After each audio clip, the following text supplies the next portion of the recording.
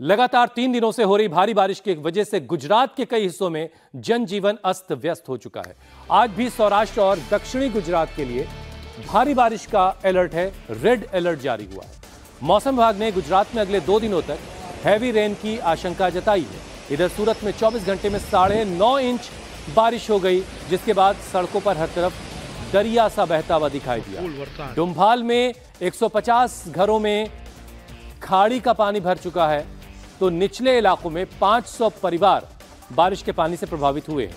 पलसाना में पानी में फंसे 60 लोगों को रेस्क्यू किया गया।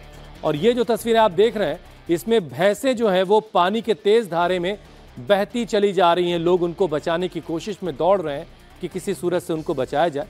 लेकिन पानी का बहाव इतना तेज है कि वो इस पानी में बहती हुई चली जा रही है।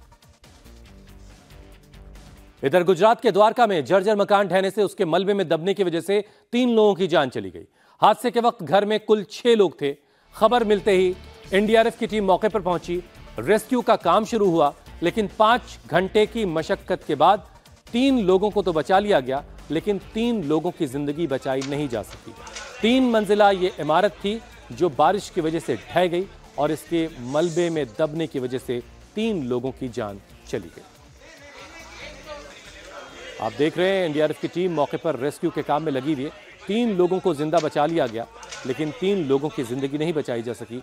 ऐसे किसी भी हादसे के वक्त एक एक लम्हा कीमती होता है और बारिश के मौसम में रेस्क्यू के काम में अलग तरह की परेशानियाँ आ रही होती हैं, अलग तरह की अड़चनें आ रही होती हैं।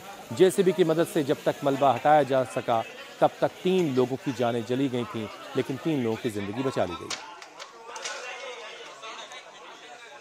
सिविल प्रशासन द्वारा सूचना मिलती है कि द्वारका में वो खम्बालिया डिस्ट्रिक्ट खम्बालिया तहसील में तीन मंजिल इमारत गिर गई है, जिसमें तीन विक्टिम फंसे हुए हैं।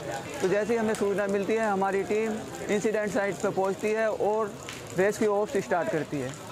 ये रेस्क्यू ऑपरेशन लगभग पाँच से छः घंटे चला, जिसमें हमने तीन विक्टिम निकाल लिए।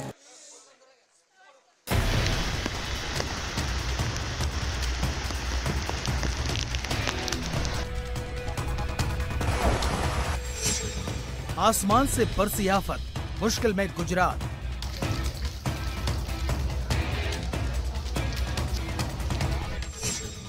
पानी पानी सूरत, दक्षिण गुजरात में बिगड़े हालात।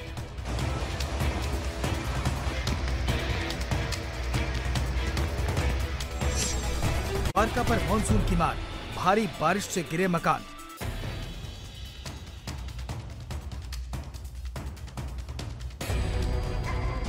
मानसून की डरावनी रफ्तार का कहर पश्चिम भारत पर बरपा है।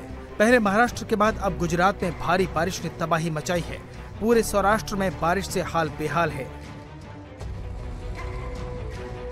तो द्वारका में लगातार तीन दिन से हो रही बारिश के बाद एक तीन मंजिला मकान ढह गया। सिविल प्रशासन द्वारा सूचना मिलती है कि द्वारका में वो खम्बालिया डिस्ट्रिक्ट खम्बालिया तहसील में तीन मंजिल इमारत गिर गई है, जिसमें तीन विक्टिम फंसे हुए हैं। तो जैसे ही हमें सूचना मिलती है, हमारी टीम इंसिडेंट साइट पर पहुँचती है और रेस्क्यू ऑफ़ स्टार्ट करती है।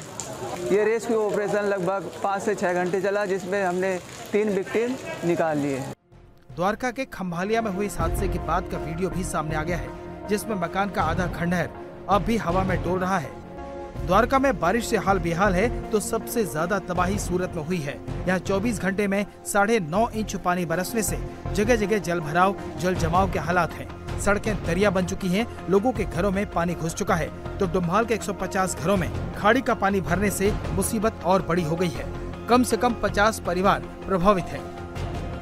सूरत की सड़कों पर फंसी ये गाड़ी कड़ी मशक्कत के बाद निकाली गई, लेकिन सूरत की कई सड़कों पर घुटने तक पानी भरने से वाहन चालकों को काफ़ी परेशानी का सामना करना पड़ रहा है। गाड़ियाँ पानी में फंसकर बंद हो गई हैं। तीन दिनों से जारी जल भराव के कारण बाज़ार बंद होने से लोगों को खाने पीने का सामान नहीं मिल रहा है।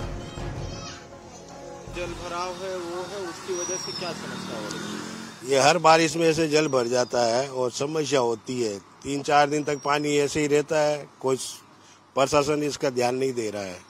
अब ये पानी क्यों इकट्ठा होता है इसकी तो आज के नहीं दस सालों से हम देखते आ रहे हैं।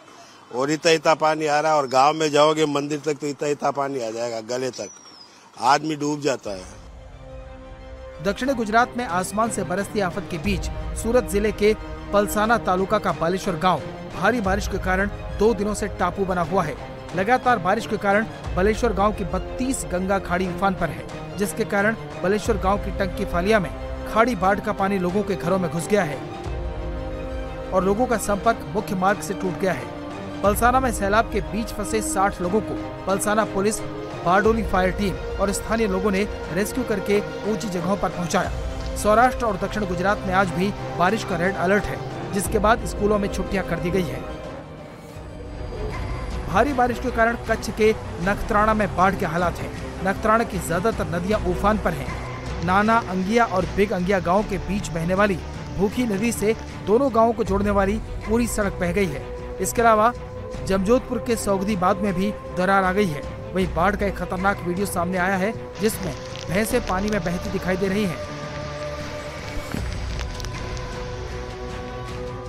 दक्षिण गुजरात और सौराष्ट्र में बाढ़, बारिश से हाल बेहाल है पिछले कई दिनों से हमारे गुजरात राज्य में भारी बारिश का मौसम चल रहा है, लेकिन उसमें से डांग डिस्ट्रिक्ट बहुत बारिश की अ, में आता है लेकिन कुछ इतना सरेराश एवरेज बारिश नहीं हो रही थी जो कल से शुरू हुआ है।